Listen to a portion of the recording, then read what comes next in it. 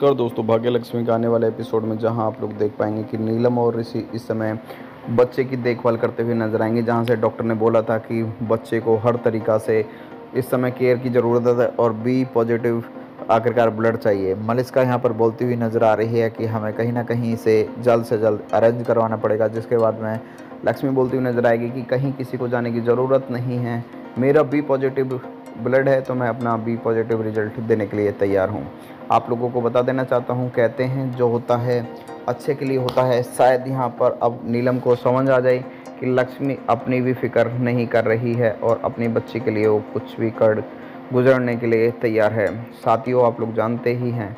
कहते हैं, जो होता है, अच्छे के लिए होता है, लेकिन दोस्तों, अब जो होने जा रहा है, वो और भी घना दिलचस्प कहानी में टूटता हुआ नज़र आएगा। क्योंकि यहाँ पर साफ़ साफ़ देखा जा सकता है कि किस तरीक़ा से लगातार ऐसे ऐसे एक्टिविटी हो रही हैं कि जिनका कोई मतलब ही नहीं है इस समय। आप लोग जानते ही हैं कि कहानी का लगातार एक नहीं, बल्कि इस समय एक और भी नया टोस्ट आता हुआ नज़र आएगा क्योंकि यहाँ पर सभी लोग बहुत ज़्यादा एक्साइटेड हैं और एक्साइटेड होने के पीछे वजह आप लोग जानते ही होंगे क्योंकि कई और भी वजह देखने को मिल रही हैं। क्योंकि ऋषि की हेल्प करना लक्ष्मी से। और लक्ष्मी यहाँ पर साफ़ साफ़ बोल रही है कि मुझे ऋषि के परिवार में हमदर्दी है क्योंकि ये मेरा भी परिवार है, मेरे भी बच्चे हैं ये, और मैं किसी भी तरीक़ा से किसी के साथ में छल नहीं कर सकती।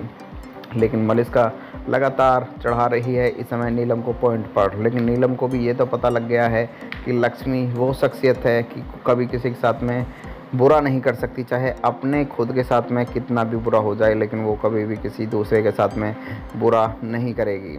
आप लोगों को बता देना चाहता हूँ, कहते हैं।